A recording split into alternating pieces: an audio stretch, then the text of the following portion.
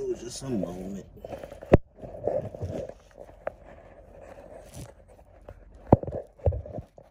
Okay. Okay, my wife said if I need some help, she here. And that's what's up. But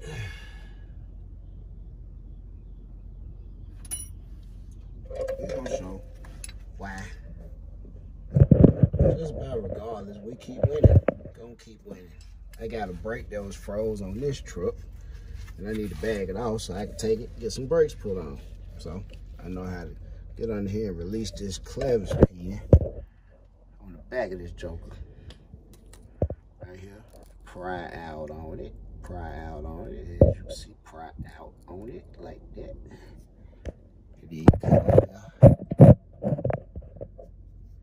And hit this square peg, not the round one.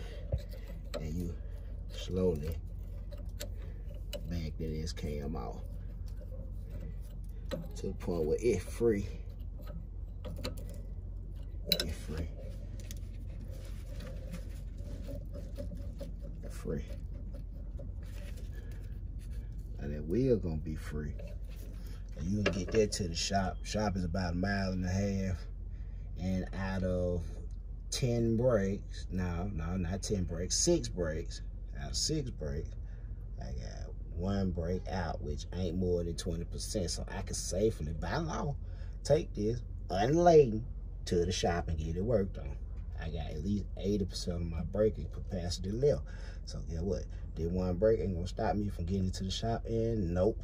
Just because I know a little something about what I'm doing, it keep me from having to get it pulled. No tow truck for me.